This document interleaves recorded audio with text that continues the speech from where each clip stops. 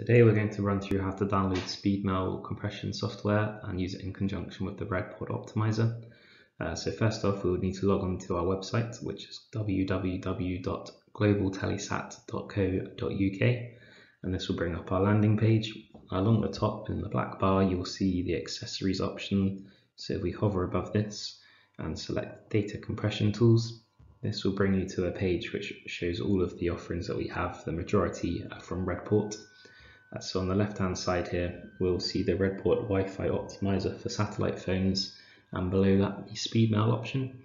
So the optimizer was designed to be used in conjunction with SpeedMail and the SpeedMail is a web compression tool. So this allows you to send and receive emails, uh, get weather grid files via PredictWind, as well as a whole host of other features.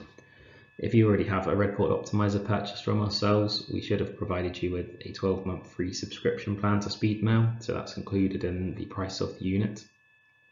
Uh, if we haven't received that, then please get in contact and we can provide it straight away. Or if you have purchased an optimizer in the past from ourselves and you haven't received this, please get in contact with your original invoice number and we'll be able to set you up with an account. To download the software itself, we'll click into the SpeedMail option and this will bring up a, the product page showing you the information of how the uh, software works, what it does and how it compresses your data to save on your airtime costs.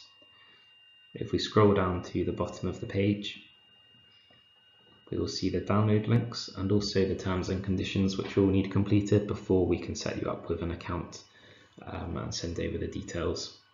Today I'm using a Windows computer, so I'll select the top option. We do also offer Windows multi-language and a version for Mac as well if you're using any of those operating systems. To download, simply click on the link.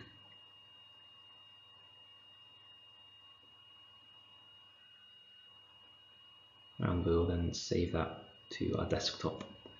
As you can see, I've already downloaded it to my desktop. So we'll cancel this window and bring up this here. The download shouldn't take too long, um, it's around 150 megabytes in size. Once that's downloaded, um, you will obviously see this icon XG setup, which we'll need to open. And we will press yes here to allow this through and the installation will begin. Simply press next on this agree to the terms and conditions. You don't need to change any of these components that are already selected on here, so we can simply press next again, press next, install, and this will then run through the installation of the program itself. As you can see on the left hand side, a few more icons have appeared now. So we have the SpeedMail, email, and XWeb. If you're using the optimizer with a satellite phone, as the data rates are so slow on these handsets, we often recommend to try and avoid the XWeb because it won't work as expected. This, although the compression is very good on the software and the hardware, it's not quite good enough to load up web pages. So where possible, just stick to the emails and the grid files that were previously mentioned.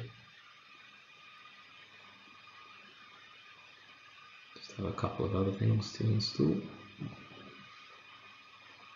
Uh, so once the installation is complete, it will request that you restart the computer. Um, for this um, video in particular, I'm going to do that later. So I'm press finish.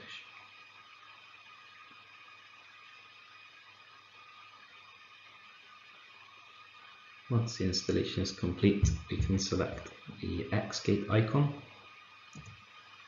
and open that up. So now it gives you the activation wizard. Um, as mentioned, we will provide you with these login details, so please don't um, select any of the other options apart from enter user ID and password.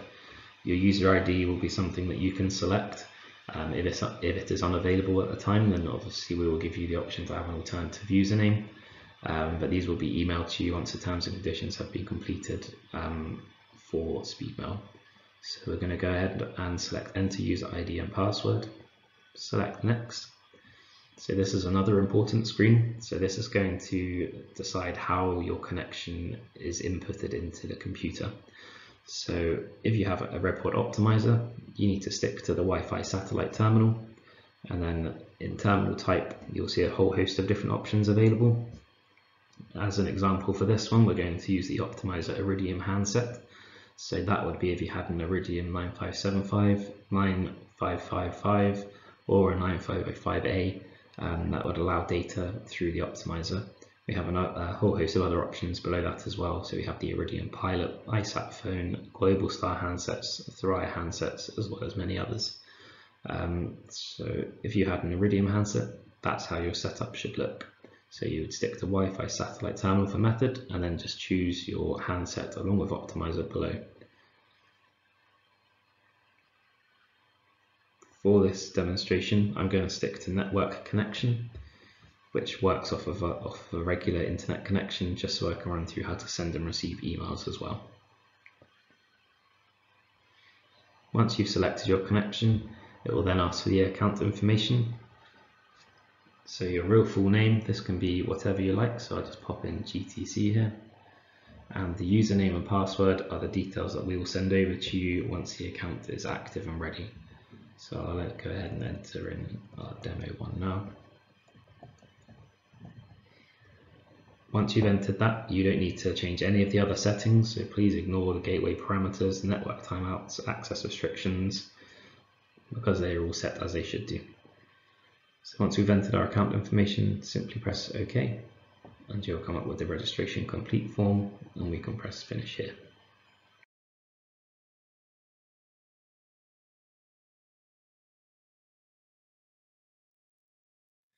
This is a brief video to run through how to change uh, your connection type on SpeedMail or Xgate compression software.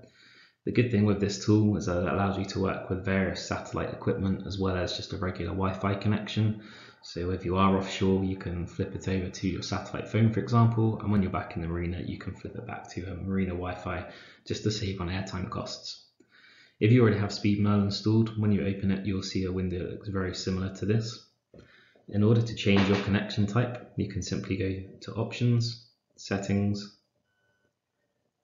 Connection, and about two thirds of the way down the page you'll see connection information. So as you can see here at the moment mm-hmm. my connection is set to just use a regular Wi-Fi connection in order to send and receive emails and also get GRIB files.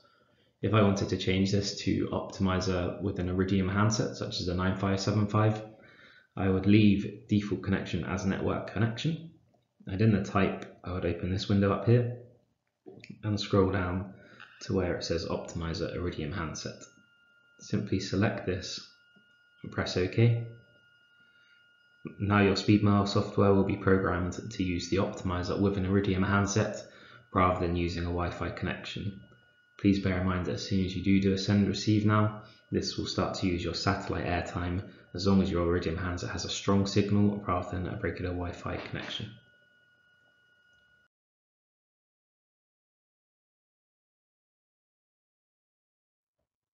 Today we're going to run through sending and receiving email when using a Redport optimizer along with the SpeedMail compression software.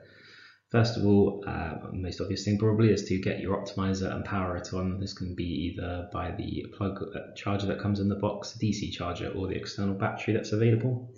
Once the unit is powered on, we need to make sure we are connected to the Wi-Fi signal of the unit. This will show in your normal list of Wi-Fi connections either as WXA 102, 112 or 122 depending on the version that you have.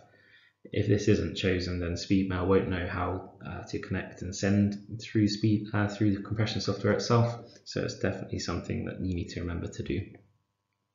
Once you're connected to the Wi-Fi, uh, we can open up SpeedMail and open up iScribe, which is the email client for SpeedMail.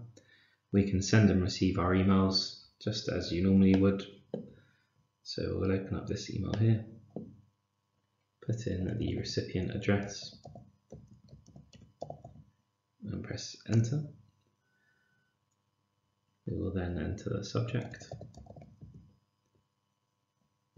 as well as any body of the email that you want in there. Once you're happy with the email, you can simply press send, which will put it into the outbox of the iScribe client. You can compose as many emails as you like and put into this outbox, and once you are ready to send, they'll all send at once rather than you having to be connected all of the time on a regular connection to send and receive the emails. Once you're happy with your emails, simply press the Xgate option along the top. This will bring you back to the SpeedMail screen and then we can do a send and receive transmission which will send out any uh, data such as emails and receive any incoming emails as well. So I'll go ahead and press this now. So as you can see it's run through the process, it's sent my one email which I've composed, told me the size of it, check to see if there's any incoming emails, which there is not, so the mail transaction is complete and it is automatically finished. If we had an incoming email, it would simply go straight into the inbox of iScribe, as you can see the two unread emails that are listed there.